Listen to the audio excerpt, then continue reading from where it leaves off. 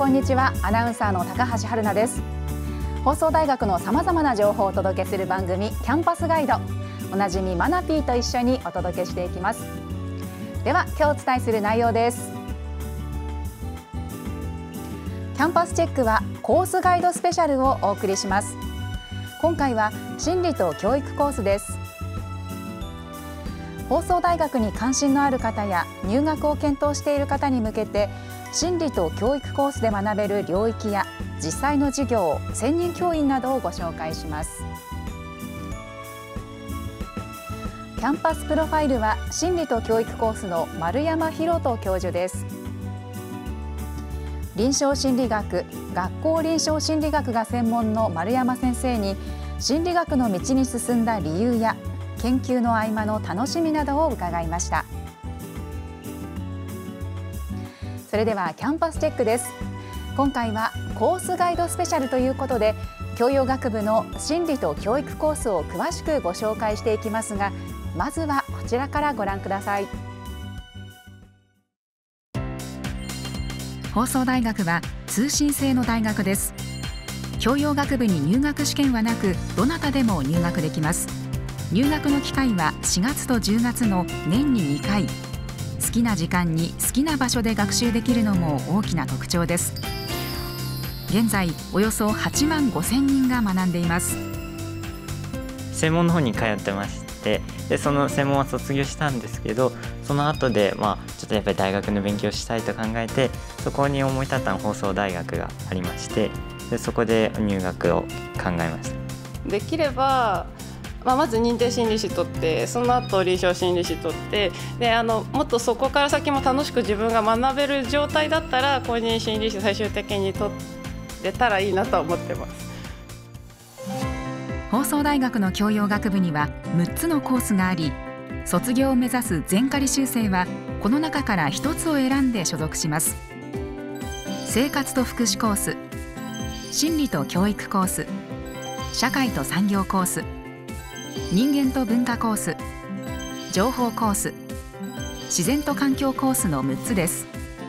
いずれのコースも実生活に即した専門的かつ幅広い学問分野を学べるものとなっています。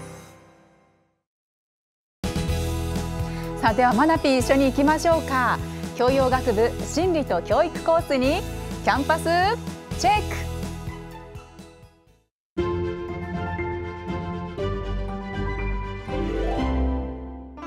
心理と教育コースでは人間の心と発達に関する諸問題を理解し発達の支援と教育に必要な知識や考え方を学ぶことができます。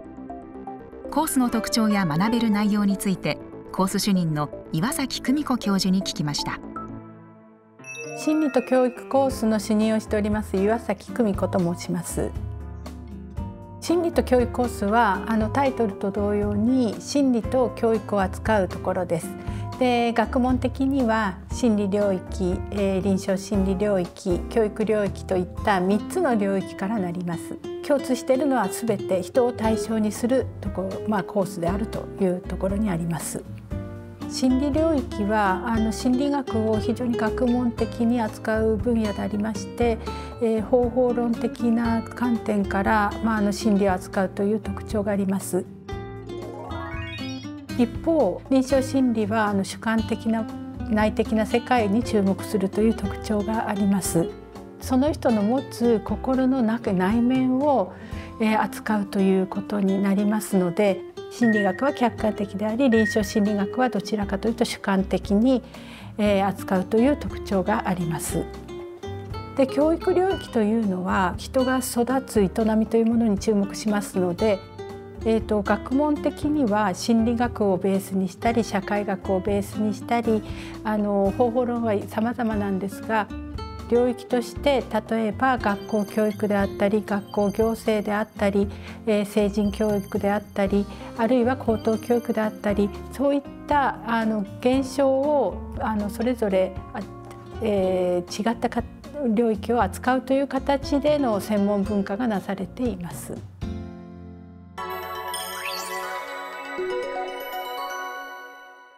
専業主婦パートタイムアルバイトといった方々が多く性別ではあの女性が7割という数になっています。年代的には40代50代というところにあの集中しておりまして心理的なものに関心が向く時期と言われています。そういう年代の方が、えー、心理と教育コースは他のコースと比べて多いということが特徴として言えます。心理と教育コースは資格取得を目指す学生が多いのも特徴です。心理領域では認定心理師に関する科目公認心理師の学部段階の科目があります。また教育領域では学校図書館司書教諭講習や社会教育主事の講習を行っています。このほかに特定の分野を学習したことを放送大学が証明する放送大学エキスパートの学校地域連携コーディネータープランでは学校支援放課後の教育活動地域文化活動などに必要な基礎知識を学ぶことができます近年あの地域社会というものについてのあの関心が高まっておりまして学校を中心に地域社会を形成するということにおいて、えー、それをコーディネートする人材が非常にあの強くあの必要とされてきております。では心理と教育コースから2023年度に新たに開講した科目を3つご紹介します。色を探求する。我々の生活の中にさまざまな形で色が使われています。衣食住の中でですね色がどのように使われていくか。どのような活用をすればいいか、まあ、そういったことをですねこの科目では探求していきたいと思います。色というものにいろんな角度からアプローチしていきたいと思いますね、あの青が12世紀以降のヨーロッパ世界で重要になった理由としては一つ目はですねあの技術的な理由ですつまり布を染める染色の技術ですが白い漆喰に菜種油や松ヤニを燃やして作る油煙を混ぜて色付けした黒漆喰が用いられておりある色を見たとしてもいろんな見方がありますいろんな視点から色を考えるっていうところに着目して学習されるといいんではないでしょうか。新時代の生徒指導、えー、まさに科目名の通り新しい時代の教育現場における児童生徒への指導について考えることを狙いにしています。現場に出てロケを行い先生方をゲストとしてスタジオにお招きし話をしてもらうことを意識しました。公立中学校の養護教諭をゲストとしてお招きし起立性調節障害などとの向き合い方コロナ禍と関連する心の問題の受け止め方など指導のヒントを提供していただきました。第6回では現在も増加傾向にある不登校の現状関連する支援施設や子どもの居場所について考えます。また遠隔システムを使った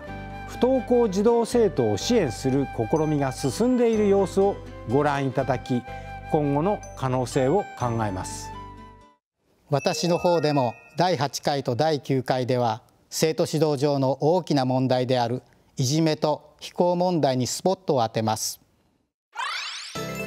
知覚認知心理学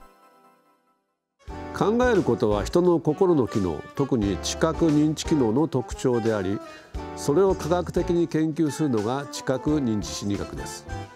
考えることを科学する実証的な方法として行動実験的方法脳神経生理学的方法神経心理学的方法を解説いたします。一見右側の天板の方が細く長く見えます。しかし実際には両方の天板は同じ大きさです。これはシェパード錯視と呼ばれています。脳は無意識的に奥行き情報を組み入れて形の知覚を成立させた結果物理的な形態とは異なった知覚像を形成しているのです。原子と原質について教えていただけますか？原子というのは例えば怪我や腫瘍などによって腕を切断した患者さん方がその失った四肢を感じるような現象を原子というふうに呼びます。健康な方の手の情報を赤外線カメラで抽出し3次元構築画像上いたします。第15回の障害の特徴と脳との関係を理解することで知覚認知心理学的事象のメカニズムをより深く理解できると思います。ここで心理と教育コースの専任教員をご紹介します。岩崎久美子教授。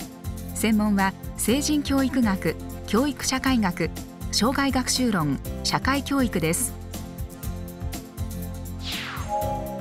岩永正也教授。専門は教育社会学障害学習です。円福月教授。専門は高等教育論遠隔高等教育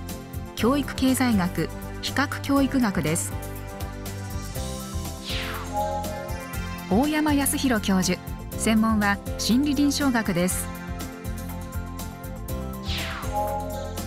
倉光治特任教授専門は臨床心理学教育臨床心理学です。櫻井直樹准教授専門は教育政策教育行財政学です櫻井先生から放送大学で学ぶことを考えている方へメッセージです大学教員、まあ、研究者であっても放送大学の授業ってとても、えーと、勉強になるしこう興味関心に直結することをこう直接触って直接勉強できるっていうのはとてもいいところだなと思ってます。知りたい学びたいっていう気持ちをこう実現する意味で放送大学っていうところはあの最適な選択ではないかなと思いますからあのチャレンジしていただけるといいかなと思います。佐藤瞳准教授専門は臨床心理学です新藤俊彦教授専門は教育心理学です高橋秀明教授専門は認知心理学情報生態学です。橋本光一教授。専門は高等教育論です。この放送大学は多様なバックグラウンドを持った方々がたくさんいらっしゃいます。自分の立ち位置をもう一つ深掘りしてみるそうした機会にしていただければなというふうに思っております。ぜひ入学をお待ちしております。橋本智博教授。専門は臨床心理学心理療法心理アセスメントです。畑野茂之准教授。専門は臨床心理学です。丸山博人教授。専門は臨床心理学学校臨床学です。向田久美子准教授。専門は発達心理学文化心理学です。森津多子教授専門は社会心理学社会的認知です。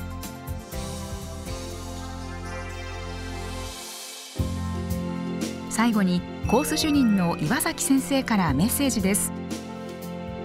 とふと立ち止まって自分の人生を振り返るというそういうひとときも本当に必要だと思います。で心理と教育コースではそのようなあのひとときというか自分の人生を振り返って改めて今後の人生をどう生きるかという問い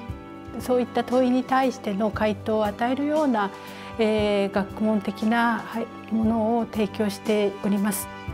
えー、もし皆さんが、えー、自分の人生についてえー、考えるという時間をお持ちになりたいということでありましたらぜひ、えー、心理と教育コースに、えー、いらしていただければと思います。心理と教育コースをご紹介しましたいかがだったでしょうか？心理と教育コース以外の生活と福祉社会と産業人間と文化情報自然と環境の各コースについては今月放送している別の回でご紹介しています。そちらもぜひご覧ください。さて放送大学では現在10月入学生の募集を行っています。大学の卒業を目指す方は全仮修正で出願してください。出願はインターネットまたは郵送で受け付けています。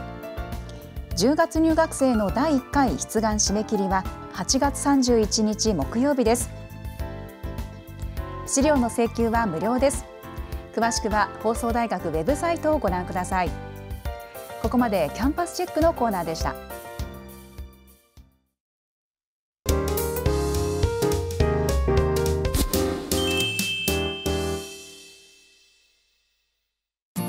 放送大学の専任教員を紹介するキャンパスプロファイル。今回は心理と教育コースの丸山広人教授です。専門は臨床心理学学校臨床心理学。丸山先生は教育現場での心理臨床として学校で問題を抱えた子どもたちやその親の相談を受けるスクールカウンセラーとしても活動を行っています。それではご覧ください。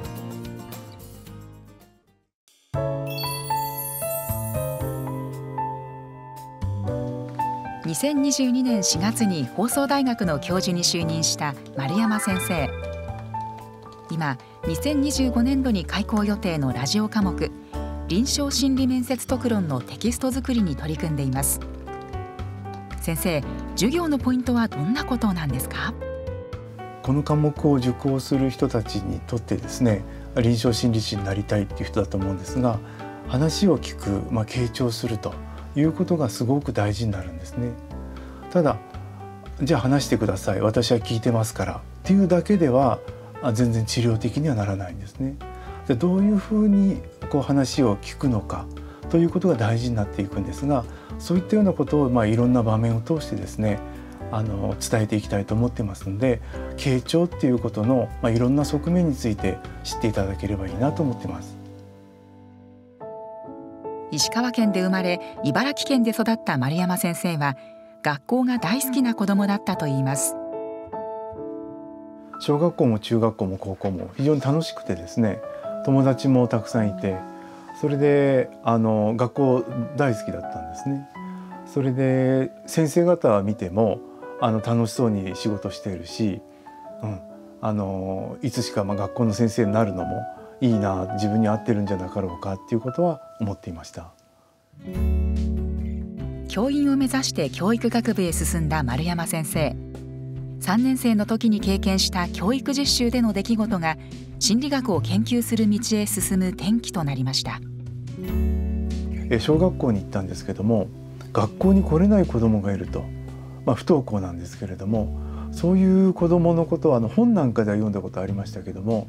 実際にそういう子がいるんだということに、まあ、驚きを感じてですね本人は学校に行きたいって言ってるんですけども朝になったらお腹が痛いとか頭痛がするっていうことでなかなか学校に足が向かないんですね。えどのように対応していいかわからないということでちょっと先生たちも困ってて私自身もどうすればいいかわからないということでそこからまあ不登校とかあこういった領域の勉強が始まりました。当時不登校やいじめ学級崩壊などを教育学と心理学の両面で解決支援する学校臨床心理学という分野が新たに生まれ丸山先生もそれを学ぼうと東京大学大学院に進学。不登校や発達障害など子どもたちのカウンセリングを始めました。この日先生が向かったのは茨城県常総市。学校臨床心理学の研究と実践のために20年以上スクールカウンセリングを続けている丸山先生。こちらの中学校には月に2回ほど訪れています。あここ相談室になります。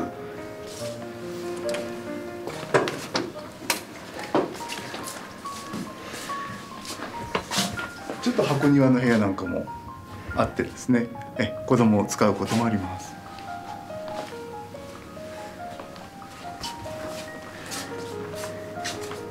でこちらが相談室になります。向こうの方があのちょっと景色が見えたりするのでお子さんとか保護者の方はですね多くの場合はあちらに座ってもらうことになって私がこちらに座ることが多いです、はい、相談は予約制で1回50分。多い時は1日に7組ほどの希望があるといいます。どんな相談事が多いのでしょうか？えっと一番多いケースは、えー、親にとっては当たり前のことってあると思うんですね。例えばご両親がスポーツ万能だった場合当然子供も逆上がりぐらいすぐにできるだろうとかやっぱり思ってしまいますね。ところがねやっぱり親と子って違うんですよね。違うんで両親がそうであっても子供がそうとは限らない。そういったことが非常に多いんですよね。これ勉強ができる両親のもとに生まれた子供でもそうですしそうなると親にとっては理解できないわけですねこのぐらいできるに違いないって思うことができないっていうことが。で親からそう見られると子供の方はですね自分もできるに違いないってやっぱ思うんですよ。でもできないわけですね。そうすると苦しんでいってしまうということがありますよね。もう親は親子は子っていうその程よい距離感っていうかそういうことがつかめるようになってくるとだんだんだんだんとその子の個性っていうのが発揮されてきて親にはなかったものが子供はあの個性として持ってるんでそういうものがぐんと伸びてくるってことがあるんですよね。またある女子児童の不登校のケースでは大好きだったおじいちゃんが半年前に亡くなったことが不登校のきっかけだったと判明したこともあるそうです。でおじいちゃんがいなくなるってどういうことかっていうのを子どもが理解するにはやっぱり時間が必要でえ1ヶ月先も2ヶ月先も会いたい時に会えないということを繰り返し繰り返してやっと6ヶ月ぐらい経ってですねあおじいちゃんがいないっていうのはこういうことなんだっていうことをやっと理解し始めて人が死ぬとかですね死っていうのが怖くなったようなんですねどうも。このケース丸山先生は女子児童の母親に子どもと一緒にいる時間を増やし登校にも付き添うように促したところ再び登校できるようになったそうです。あの病気ではないんですよねそれって非常にまあ人間として大事なこと、うん、あの死っていうようなものに向き合うっていうのはですねあのどんなちっちゃい子でも、まあ、ご老人でもですね我々でもあの非常に大切なことなんで、まあ、そういったようなところから考えていきましょう。学校臨床心理学では先生や親部活動家庭など子どもに関わるさまざまな人や環境をうまく組み合わせて子どもの成長を促します。大切なことは時間をかけて子ども自身が解決を見出すことだと丸山先生は言います。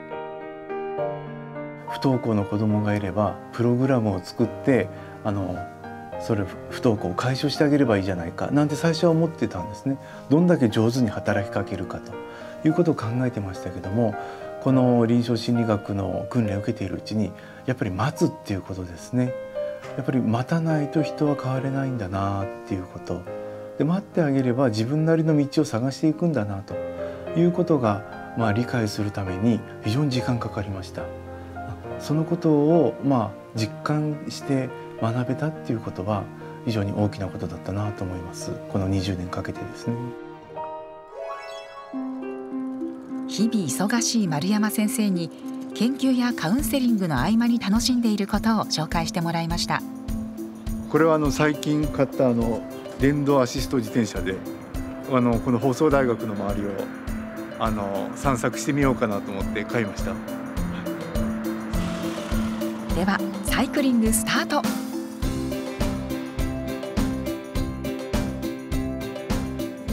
この日は海の方向にペダルを踏みます。走り始めて10分。最初の目的地に着きました。東京オリンピックの会場にもなった有名な場所。幕張メッセです。ね やっぱ空間が広くて今日人がいっぱいいますね。なんか催し物やってるんだと思いますけども、ええ、こんなに近くまで来たのは初めてですね。はい。続いて見えてきたのは。いや大きいなああ迫力がありますね。ああすごい。マリーンズって書いてあってロッテですね。ZOZO マリンスタジアム。なかなか最近はスタジアムに来れないから気持ちいいですね。やっぱりリアルが一番だな。これで野球見れたら最高ですよね。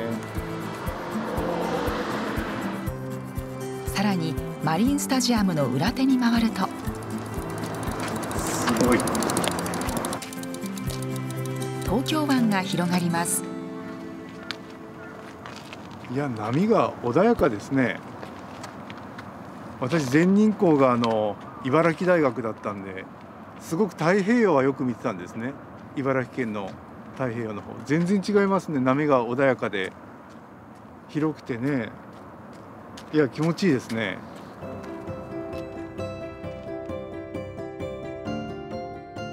大学の周辺を自転車で走ってどんな印象でしょうか？え幕張はやっぱり近代的なのかなと思っててまあその通りだったんですけどもこういうもう自然も非常に近くにあってですねあのうまくこう自然と